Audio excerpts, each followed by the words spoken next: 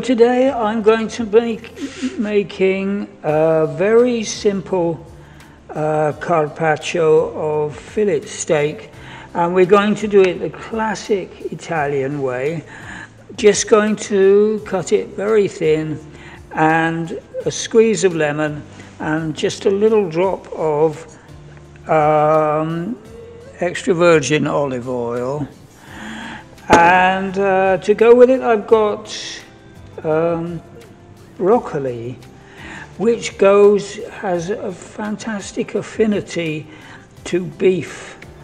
Okay, it really brings out the flavor of beef. And um, you know, because it would be a little bit else, I was going to do it with just broccoli and nothing else. But I thought that would be a little bit austere. Oh, and by the way, yeah, broccoli, the lemon juice goes really well with broccoli as well, yeah? Brings out the flavor of broccoli. So, just so it's not too austere, we've got tomato and some lettuce, round lettuce, and avocado. And then we're going to have, at the end, as always, we're going to have some miso soup, which I make with brown rice miso uh, see my uh, video, the 28 um, health benefits, at least 28 at least health benefits of miso soup. And you need to make it with dashi, of course.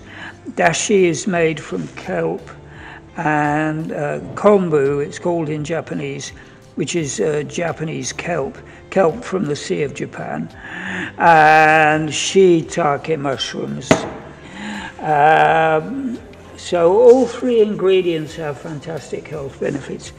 Miso in particular has lots of glutamate, which is very good, which is great for old gits like me, because it's very good for your prostate. So if you're 71 like me and suffering from an enlarged prostate and you have to get up and pee at least twice a night, yeah, make sure you have some some some miso with glutamate in it. It's very good for the prostate. Okay, so um, right, so let's crack on.